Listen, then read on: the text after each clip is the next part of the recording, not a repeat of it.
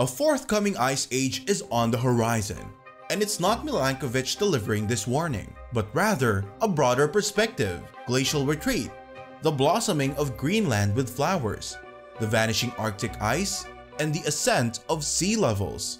This litany has become a daily fixture in our lives for years, with everyone echoing the same sentiment. It seems only logical to embrace it. However, a minority persists in asserting that the human-induced origin of global warming is no more than an unverified hypothesis derived solely from intricate computer programs known as general circulation models. Contrary to this, the scientific literature increasingly emphasizes the existence of natural climate variability that eludes replication by these models.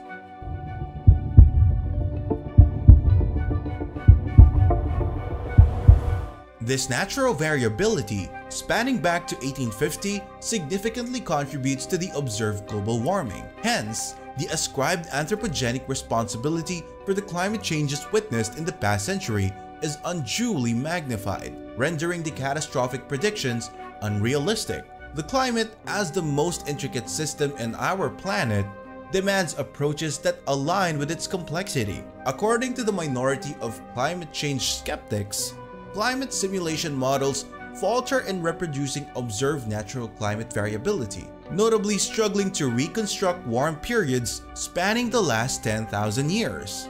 These epochs, occurring approximately every thousand years and encompassing well-known periods like the medieval warm period and the Roman warm period, were generally warmer than the present despite lower CO2 concentrations, attributed to millennial cycles of solar activity. The question emerges, whom should we heed? Should we delve into the discussion? Those prophesying imminent climate catastrophe might do well to confine their claims to the possible extinction of the human species rather than predicting the demise of the entire planet and its biodiversity. Earth, existing for around 4.5 billion years, has weathered climate changes of such magnitude that the current one, assuming its reality, appears akin to a microscopic fly's bite in comparison. The notion of Earth perishing or falling ill due to human activities is a fallacy. We must not delude ourselves. Despite our perception of power and invincibility, we are insignificantly subject to natural phenomena to which our presence holds minimal significance. Reflecting on the grand evolution of dinosaurs who thrived for approximately 180 million years, only to face devastation from a mere 10 kilometer diameter asteroid underscores our vulnerability. A more catastrophic scenario would unfold with the standard explosion of a giant star not too distant from our sun. Contrary to notions of Earth's demise or ailment, it continues its incredibly adventurous existence, never identical to itself and prepared, if necessary, to nurture life once again a feat it has accomplished multiple times in the past. The Earth's recent history reveals cycles of significant fluctuations in average global temperature, exemplified by glaciations occurring approximately every 100,000 years. Between these glaciations and even during them, noteworthy short-term variations have persisted, capable of entirely reshaping the conditions for sustaining life. Until about 10,000 years ago, glaciations affected Europe at the intervals within the overarching 100,000 year cycle. Fundamentally, our lives are intertwined with cycles, sequential repetitions of events.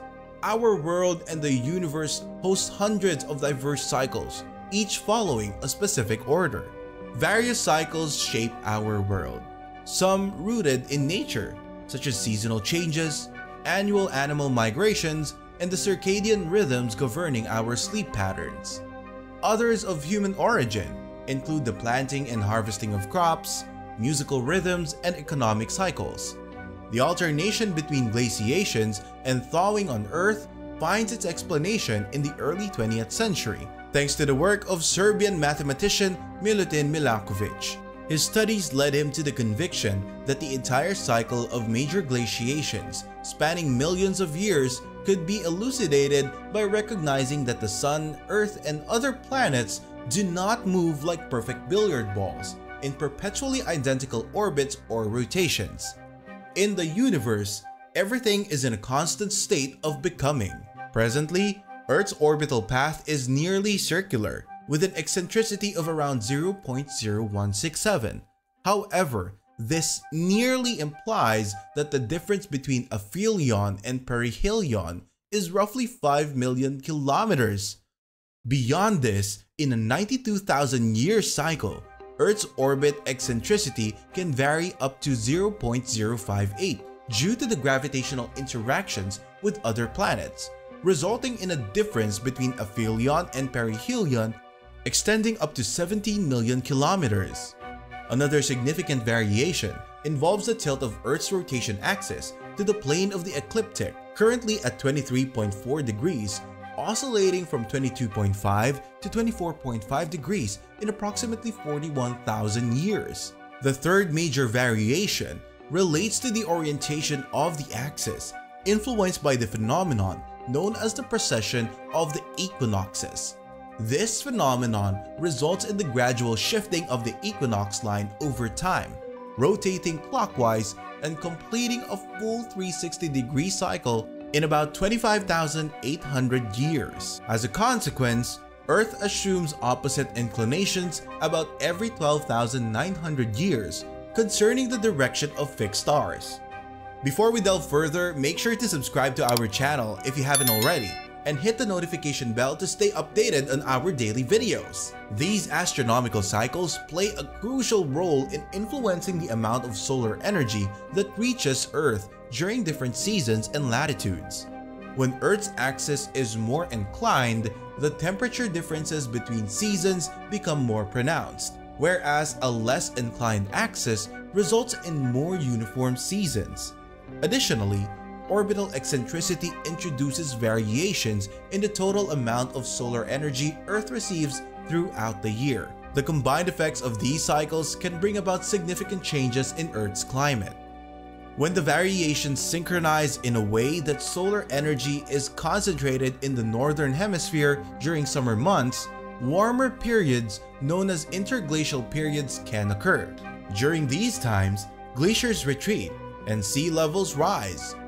Conversely, when variations lead to reduced solar energy in the northern regions, glacial periods can take place, marked by extensive ice coverage and lowered sea levels. In understanding this, it is crucial to recognize that the alternation between glacial and interglacial periods is dictated by seemingly minor temperature variations. Consider that the average temperature during a glacial period is only 4 to 6 degrees lower than the average temperature during an interglacial period.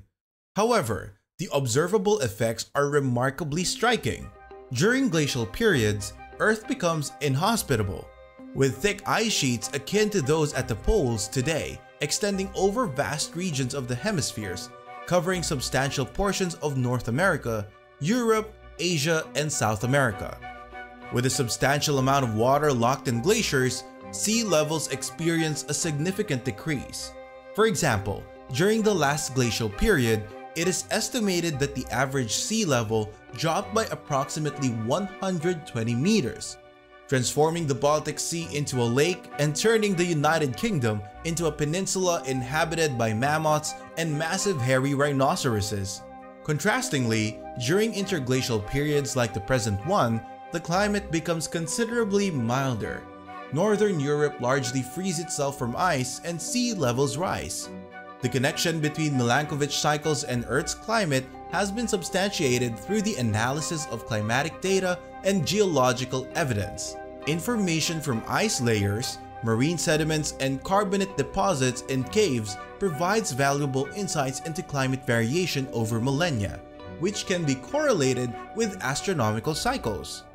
Over the past two decades, Milankovitch's theory has emerged as the ultimate stronghold against the thesis of global warming attributed to human activity.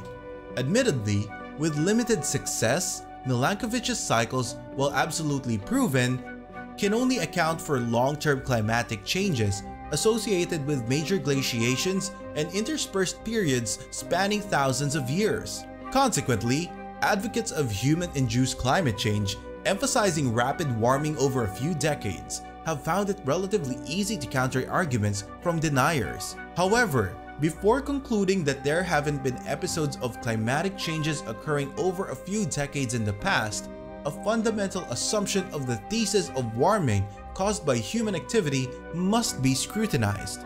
What climatic changes could the presence of medieval or even Neolithic humans have triggered? The choice of these historical periods is not arbitrary. Consider the so-called Iceman or Ötzi, who lived 5,000 years ago, discovered mummified in 1991 amidst the thawing ice of the Italian Alps at an altitude of around 3,200 meters. What was Ötzi? A hunter? A shepherd? It's challenging to determine. However, it's improbable that he was a mountaineer climbing to those altitudes. Reflect on this. 10,000 years ago, the Alps were still covered in ice amid a glaciation. Yet, just a few centuries later, there was a Neolithic villager already at 3,200 meters altitude, pursued by someone who managed to kill him with an arrow in the back. It's difficult to fathom that Ötzi lost his life in the snow and ice, and indeed, there's something perplexing about this story. It's much more plausible that Ötzi closed his eyes forever in an environment where a sudden warming period had already cleared altitudes of snow. By 3000 BC, a significant thaw had occurred, enabling people to move freely from Austria to Italy at very high altitudes. A thaw larger than today's and occurring in a remarkably short time. Blaming humans for such climatic variations? That seems hard to believe, doesn't it? Moreover, how do we explain the subsequent rapid drop in temperatures that covered Ötzi's remains with ice until our days? Contrary to the notion that short-term climate variations don't exist, Earth's entire history is filled with them, all occurring entirely naturally, without the influence or blame of human beings. Similar episodes have repeated themselves even in periods closer to our own. Consider the sudden warm period from 1000 to 1300, enabling Viking Eric the Red to colonize Greenland and discover America. Or the cold period from 1645 to 1715 known as the Maunder Minimum, disrupting Europe and the entire northern hemisphere. Presently, we are in a phase of modest warming, although few may remember that in the 1970s, discussions centered around the impending unbearable cold about to descend upon the Earth with even considerations of covering the North Pole with coal dust. Despite this, catastrophists increasingly convinced and having gained the favor of the media and politics anticipate an impending Armageddon due to human activity. On the contrary, the sun has indeed been experiencing a low level of sunspot activity for some years now, almost vanishing reminiscent of the Maunder minimum that ushered in 70 years of intense cold between the 17th and 18th centuries. Some scientists posit that this could be the onset of a periodic solar event known as the Grand Minimum, while others contend that there's insufficient evidence to support such a perspective. During a Grand Minimum, solar magnetism diminishes, sunspots become rare, and less ultraviolet radiation reaches Earth with the potential for these minima to persist for several decades to centuries, akin to the Maunder minimum. In essence, confusion prevails, even as descendants of Al Gore assert their position a priori. To summarize and clarify our thoughts, the situation between the two factions can be characterized as follows. Milankovitch's astronomical cycles elucidate long-term climate changes adeptly, but fall short in explaining short-term ones. Proponents of global warming argue that changes as swift as we are experiencing now have never occurred before, attributing the phenomenon to fossil fuel usage. Climate change skeptics counterbalance the argument by presenting evidence of equally rapid climate changes occurring in periods when human activity couldn't have influenced the environment. Amidst this debate, factors like volcanic activity and continental drift have been considered. However, catastrophists often dismiss these factors, erroneously asserting that there haven't been eruptions violent enough in the last 50 years or neglecting the slow pace of continental drift. Surprisingly, amidst all this discourse, there's a notable absence of consideration for the only true energy source of the entire solar system, the sun. Catastrophists entangled in complex mathematical models acknowledge the sun's influence but underestimate its role to a mere 7.5%, attributing short periods of warmth and cold recorded over the past 2,000 years to other causes. On the other hand, climate change skeptics heavily rely on Milankovitch's cycles for their arguments, which aptly explain long-term variations but fall short in accounting for changes in the sun's luminosity. In reality, the sun doesn't consistently shine at the same level of luminosity but slightly dims or brightens about 0.1% during an approximately 11-year cycle. Throughout this period, the sun undergoes various changes in its activity and appearance, leading to fluctuations in solar radiation levels, the amounts of materials emitted into space, and the size and number of sunspots and solar flares. The fluctuations in solar activity impacting space, Earth's atmosphere, and the Earth's surface have diverse effects. Historically, the scientific community lacked conclusive evidence of a direct connection between solar variability and climatic changes. However, a recent study from the National Center for Atmospheric Research marks a significant development, revealing a correlation between the end of solar cycles and the periodic meteorological phenomenon on Earth, the transition from El Niño to La Niña. This transition signifies the atmospheric shift from warming, which is known as El Niño, to cooling, which is La Niña, of the waters in the central eastern Pacific Ocean. The study suggests a guiding role of solar variability in the meteorological changes within Earth's system. This newfound connection between solar cycles and ocean currents offer a potential explanation for the recent peak in warming observed in recent years, possibly mitigating, at least in part, the impact of anthropogenic activities. However, the battle over the understanding of climate change continues. The identification of the true enemy remains elusive, and vast interests are at stake. From this, one might derive the disheartening impression that even science has been subjected to commercial interests and has been put up for sale to the highest bidder.